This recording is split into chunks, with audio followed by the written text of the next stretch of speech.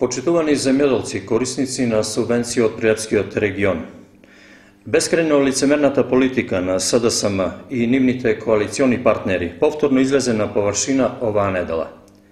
Оние кои го уништија македонското земјоделие, тутунопроизводството, сточарството и така натаму, рекоа повторно не на субвенциите – ВМРО ДПМН предложи со закон да им се излезе во пресред на сите оние кои што од оправдани причини не успеале да ги подмират законските утврдени обврски кон кооперантите, водостопанствата и другите правни субјекти, со кој закон ќе им се овозможеше да ги добијат субвенциите. Хари Локвенец, кој неуспешно се прикажува тоа што не е, поддржани од Ленче Николовска пратеник, која шетајќи ни Прилепскиот регион, ветуваше повисоки субвенции, а пред два дена гласаше против на земјоделците да им се дадат субвенциите.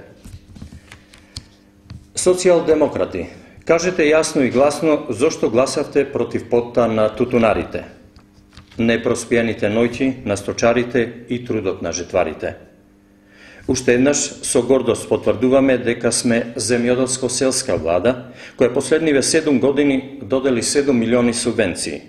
Влада кој уште во текот на вчерашниот ден го поднесе повторно истиот закон во Собранието на Република Македонија. Македонските, прилепските земјоделци ќе ги добијат субвенциите кои ги заслужија.